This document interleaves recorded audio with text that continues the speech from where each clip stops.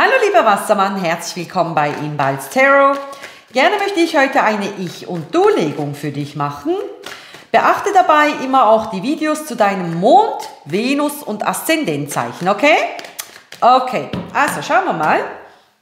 Wassermann, hier schaue ich dich an und hier dein Gegenüber. Ich schaue für ein Kollektiv. Das heißt, es kann auch sein, dass du dich hier siehst und dein Gegenüber hier. Ja, ich schaue die Energien zwischen zwei Menschen an und konzentriere mich hier auf dich, damit ich überhaupt einen Anker habe hier bei der Legung.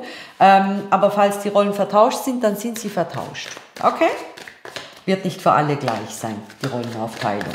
Also schauen wir mal. Für Wassermann, Wassermann, Wassermann. So, so.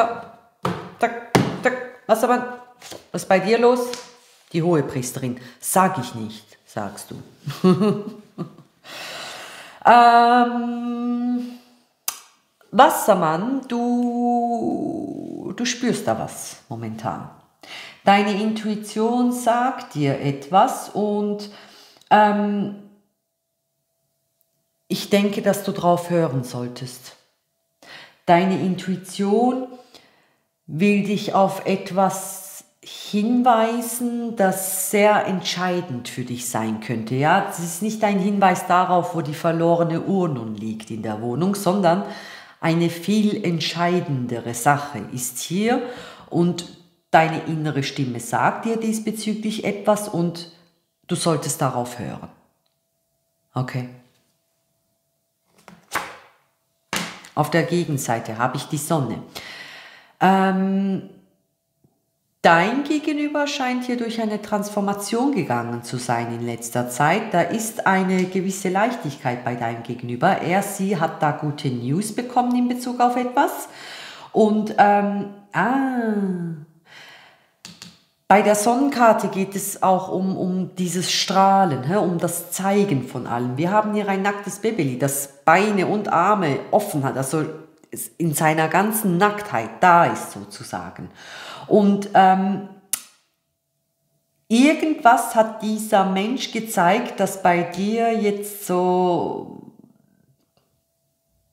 deine Intuition ein bisschen so zum Klingeln gebracht hat. Ich sage jetzt nicht Alarm, aber da ist, da, du hast da was gesehen. Dieser Mensch war bei etwas zu leichtwertig, zu leichtwertig, zu leichtfertig offen und das hat jetzt bei dir was ausgelöst. Deine innere Stimme sagt dir jetzt etwas.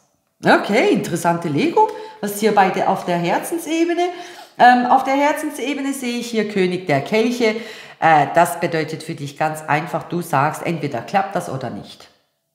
Da ist bei dir ähm, keine Klammerung oder ähnliches zu sehen, Wassermann. Du bist da emotional sehr abgekapselt von diesem Menschen. Ähm, der, Was, der, der König der... Jetzt wollte ich den Wassermann nennen, weil das ist ja Wasser und das ein Mann. Also im Grunde bist du ähm, in dir drin, Wassermann, so erfüllt und gleitest nur so durchs Leben, dass du momentan nicht das Bedürfnis hast, dich unbedingt an jemanden zu ketten. Ja? Ähm, dieses, dieses, ich will glücklich werden oder ähm, jemand soll mich glücklich machen oder ich will jemanden an meiner Seite haben. Ja, all diese Ich, Ich, Ich, Ich-Sätze sind Ego, Ego, Ego, Ego, Ego-Sätze. Und ähm, das ist ja jetzt das Interessante. Kaum lässt man die weg, ja, kaum sagt man nicht mehr, ich will jemanden oder ich will äh, glücklich werden oder ich will XY.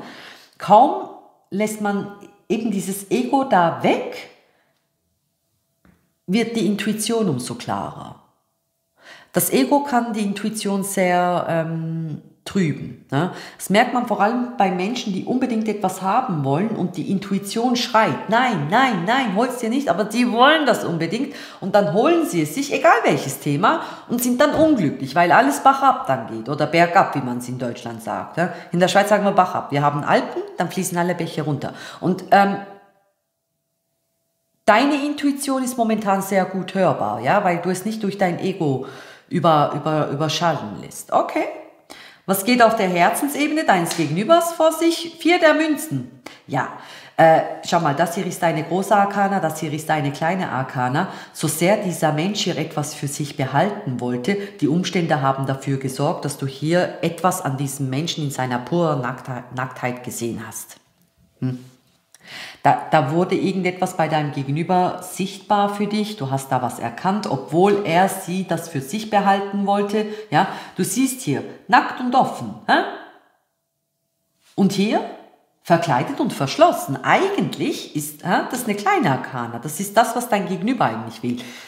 Es nicht zeigen, hm, ähm, es für sich behalten, aber die Umstände haben dafür gesorgt, ja, was auch immer das für eine Lebensphase gerade ist, die deinem Gegenüber sehr viel Leichtigkeit gegeben hat, dass du da was gesehen hast, das dir nicht gefällt.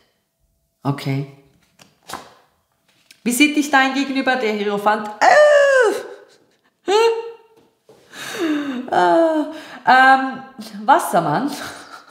Es ist eigentlich eine tolle Karte. Ist auch meine Karte. Ich bin Stier. Eigentlich ist der Hierophant eine tolle Karte, aber ich habe hier direkt was anderes rausgespürt. Siehst du diese Menschen hier, die diesen Hierophanten um Rat fragen? Dein Gegenüber sagt, dass du besserwisserisch bist, hm? dass du zu viele Ratschläge erteilst und äh, eben besserwisserisch bist. Ich möchte hier einfach auf etwas hinweisen, wenn oder so das Wissen, Können, Sein und Tun, das wird bestimmt mit den Elementen im Tarot, Münze, Stab, Kelch und Schwert Okay. Über die befindet sich dann, äh, befinden sich dann, also über diesen Elementen befinden sich dann die Pagen, dann die Ritter, dann die Königinnen und Könige. Dann kommen Herrscher und Herrscherin, die haben dann alle Elemente inne. Und über Herrscher und Herrscherin sind dann der Hierophant und die Hierophantin. Die Hohepriesterin ist im Grunde die Hierophantin. Und ähm, du, Wassermann, Du bist wirklich besserwisserisch momentan. Das ist das Höchste an Einigkeit, das du in dir selbst haben kannst. Kein Wunder, geht dir das am A vorbei. Das ist, oder das ist das Höchste an Einigkeit, die du in dir haben kannst. Also diese männliche und weibliche Energie in dir, die sind so schön geeint. Ja, ich sehe dich hier auch sehr spirituell. Ähm, und ja, du bist wirklich besserwisserisch momentan im Sinne von, du weißt es momentan wirklich besser. Das, das ist, oh, das, da kannst du dir gerne auf die Schulter klopfen. Das passiert nicht einfach so.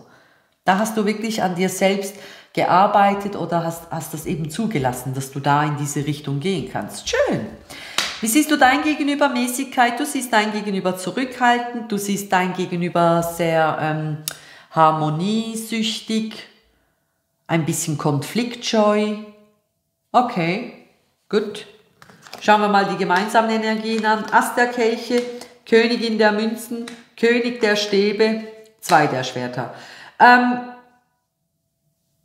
du, du wirst dich hier in nächster Zeit auf das, was deine innere Stimme dir hier sagt, konzentrieren und dich dementsprechend ähm, nicht allzu sehr um diese Geschichte hier kümmern.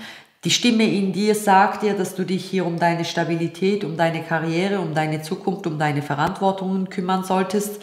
Ähm, und Genau das tust du auch. Das regt die Aufmerksamkeit deines Gegenübers hier und dieser Mensch ist jetzt hier dazu geneigt, ähm, eine Entscheidung zu treffen und mit dieser Zurückhaltung hier ja aufzuhören. Du, du, du, du, du stößt hier etwas an bei deinem Gegenüber durch diesen plötzlichen Rückzug. Okay. Ich sehe dich hier sehr auf dein Ding konzentriert und sehr auf diese Stimme in dir konzentriert. Das ist, das scheint mir hier schon wie eine Liebeslegung, aber Ast der Kirche steht hier nicht für die Liebe, die dir dieser Mensch gibt. Nee, um das geht's hier nicht.